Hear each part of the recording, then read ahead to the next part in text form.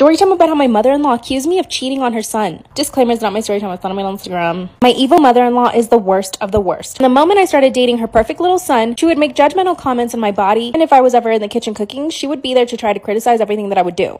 When my husband and I finally got pregnant, she pretended to be happy. I could see deep down inside she was hating the fact that I was pregnant. I think she always had the hope that he would leave me. But let me give you some background info on my husband. This man is lucky to be with me. Not only am I a 12, I am so kind and caring to him, I have way too much patience for him. Whereas my mother-in-law thinks that he's the one lucky to be with me. First off, I make way more money than my husband, so I'm the one paying for most of the bills. But guess what? My husband asked me not to tell his mom about that because he'd be embarrassed. He also doesn't know how to cook or clean. And guess why? Because his mother did everything for him growing up. So I'm the one that has to cook, clean, and pay for the bills. A few months ago, I asked my husband for a divorce. He ran over to his mom's house and tried to get her to convince me not to. But guess what? His mom called me and told me that she'd convince him to give me a divorce. Send me on Instagram. So instead of her trying to convince me not to leave him, she told me that she would convince my husband to break up with me. This was all for my benefit because I was the one that wanted a divorce. But two weeks later, I find out I'm pregnant. At the time, we were still living in the same house, but we weren't really talking. So I finally went up to him and told him that I was pregnant. He was so happy. Do you think he even gave me a hug or a kiss? No, he picked up the phone and called his mother right away. He called her on speaker and I could hear what she was saying. And as soon as he told her, she said, It's probably not your kid.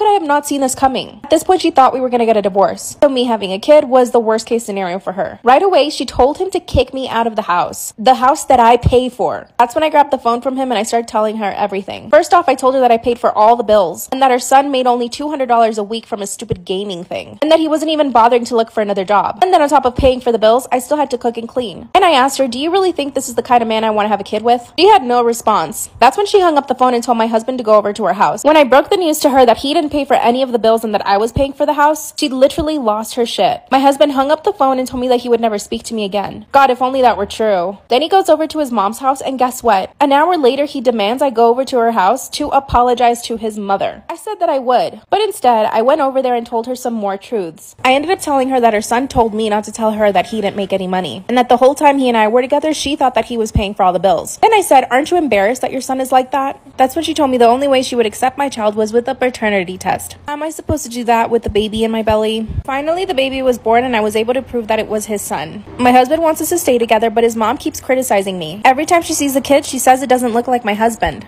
even though I already proved that it was his. I think that I should get a divorce. I'm afraid my mother in law might do something to the baby. My husband thinks I'm just overreacting. What should I do?